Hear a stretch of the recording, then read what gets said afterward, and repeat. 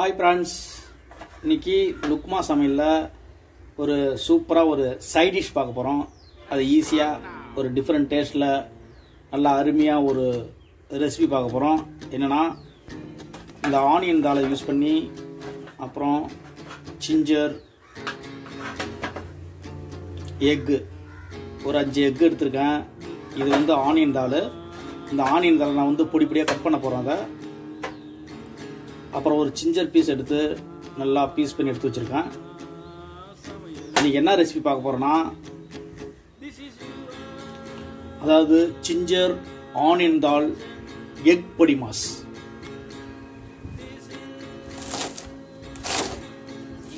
இந்த ஆனியன் தாலை நல்லா இதை போல் பொடி பொடியாக கட் பண்ணிக்கிங்க.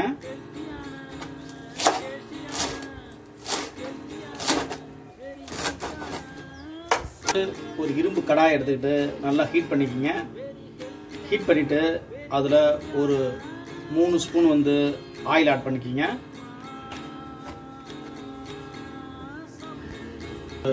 மூணு பச்சை மிளகாய்.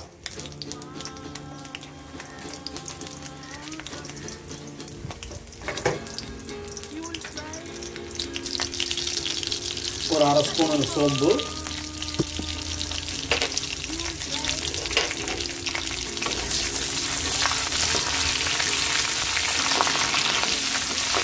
ஏற்கனவே நல்லா ஸ்லைஸாக வெட்டி வச்ச இஞ்சியை வந்து இது கூட ஆட் பண்ணிக்கிறேன்.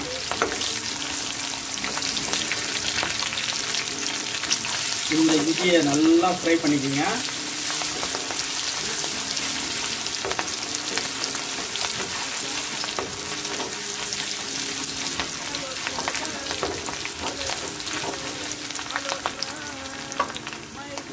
அது கூட கொஞ்சம் போது ஆனியன் தாடு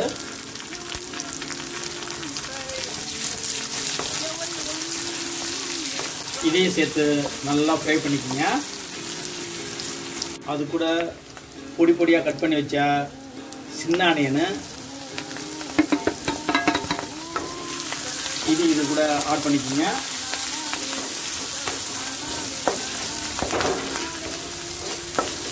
இதை இந்த ஆனியனை ரொம்ப டீப்பாக ஃப்ரை பண்ண வேணாம். ஒரு அரை வேக்காடு இருந்தால் போதும். இது நல்லா ஓரளவு இதை நல்லா வதக்கிக்கிங்க.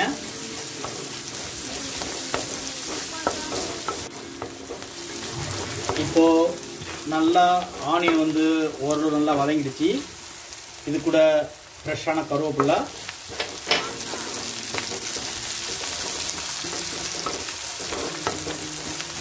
இது கூட என்ன செய்ய போகிறேன்னா இப்போது ஒரு அஞ்சு முட்டையை உடச்சி விட போகிறோம்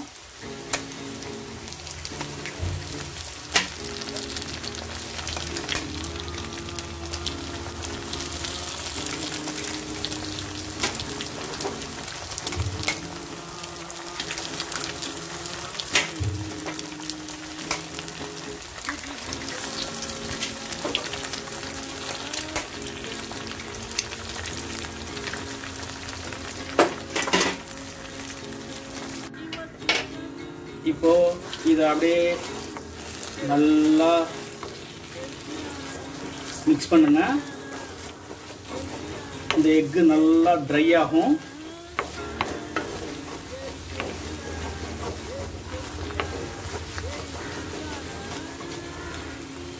லைட்டாக ட்ரை ஆனதும் ஒரு ஸ்பூன் ரெட் சில்லி ஒரு ஆறு ஸ்பூன் மஞ்சத்தூள்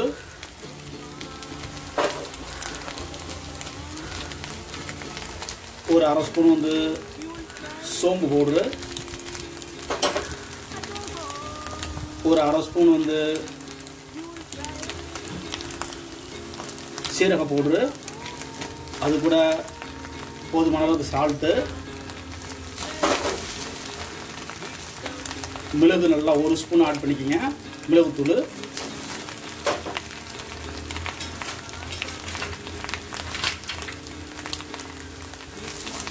ஆட் பண்ணிவிட்டு இதை நல்லா மிக்ஸ் பண்ணுங்கள் அதோட சேர்த்து.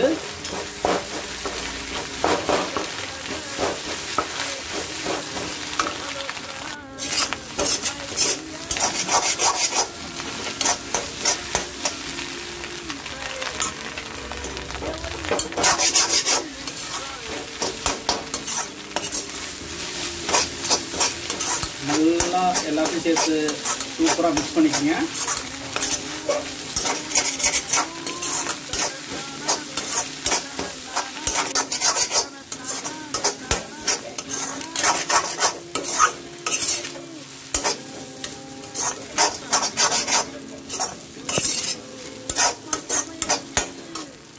இப்போது ஃபைனலாக இந்த ஆனியன் தாளை ஆட் பண்ணிக்கிங்க.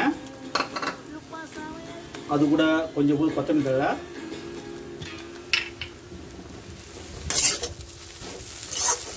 இதை லைட்டாக ஃபைனலாக இன்னொரு நல்லா இதை ஃப்ரை பண்ணுங்க.